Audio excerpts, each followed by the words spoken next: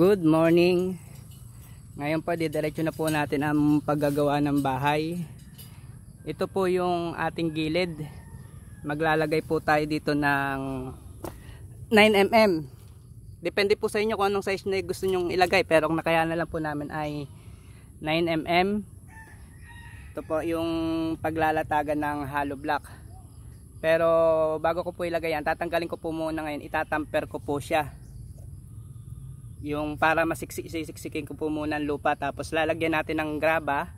Saka po natin to lalagyan tapos bubuhusan po natin. Yan. Para mapantay yung paglalagyan ng hollow block. Ang ginawa ko pong tamper ay ito po kahoy lang. Kung mapapansin nyo isang malaking troso lang po to na mabigat. Tapos nilagyan ko lang po siya ng handle.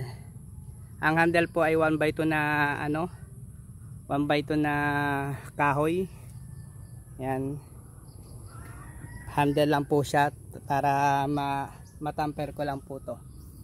Sandali lang po ha tatamperin na natin. Ngayon po tatamperin natin tapos papantayin po natin yung lupa. Tamperin ko muna ba yan lalagyan kong graba. Oo. Di ma ano, bagal sa ano, ah pilit, ang damper, okay lang tapot na. Hmm. Na. Hmm, madikit nga. Okay lang. Siksik, nalagay pa ng graba.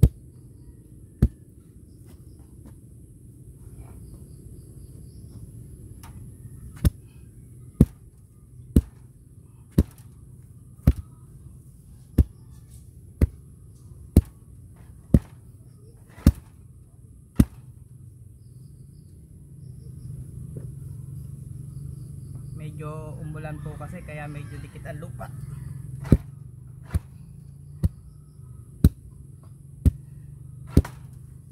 Eh, okay lang po yung basta't masiksik. Tapos papantayin lalagyan ng graba saka buhusan po ulit